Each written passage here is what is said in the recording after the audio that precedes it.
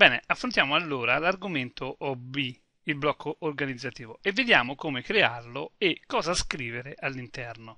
Nello specifico creiamo un OB100. Come si deve fare? Si va su blocchi, pulsante destro del mouse, inserisci nuovo oggetto, blocco organizzativo.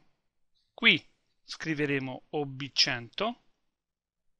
Come nome simbolico possiamo scrivere, che so io, OB restart.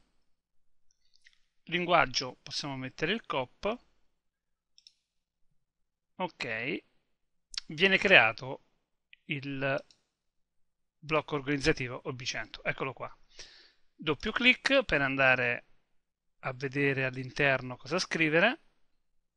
Nota subito una cosa, il sistema ha riconosciuto l'OB100, sa che cos'è l'OB100 e quindi per default ha inserito questo commento complete restart.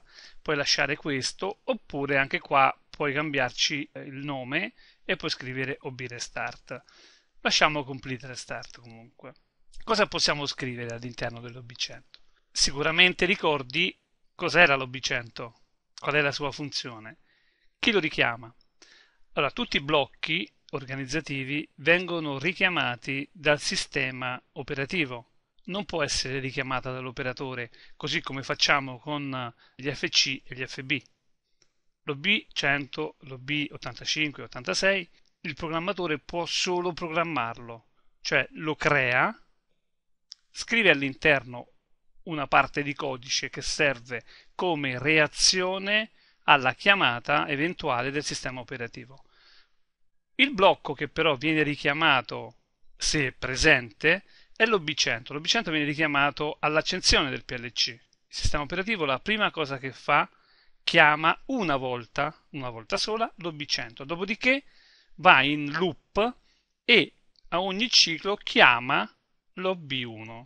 Adesso dovrebbe essere abbastanza chiaro anche per te. Quindi che cosa scrivere all'interno dell'OB100? Scriveremo, scriverai quella parte di codice che serve a inizializzare le variabili se tu devi per esempio fare un preset di una variabile o azzerare dei diagrammi, delle parti di codice automatico, questo è il luogo dove farlo. Quindi per esempio, vediamo un po', intanto possiamo qua dargli un titolo e scriveremo blocco di restart. Possiamo anche mm, mettere un commento un po' più esaustivo e dire che il blocco viene eseguito solo all'accensione del PLC, così ti rimane bello impresso.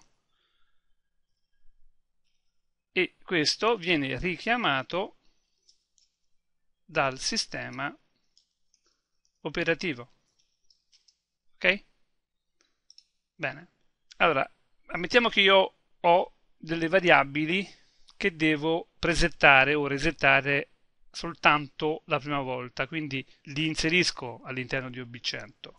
Allora, per esempio, io ho un, in questo caso, nel, nell'esempio che ti farò vedere, ho delle variabili che si chiamano peso tara, peso netto e peso lordo, che sono il risultato di alcune operazioni che vengono fatte durante il peso, ovviamente. Allora, qui non devo mettere nessuna condizione, perché viene eseguita una sola volta all'accensione, quindi non mi servono condizioni precedenti, ma posso benissimo scrivere, in questo caso voglio muovere 15 per esempio, nella variabile del peso tara. L'ho precedentemente denominato su db1.dbw0.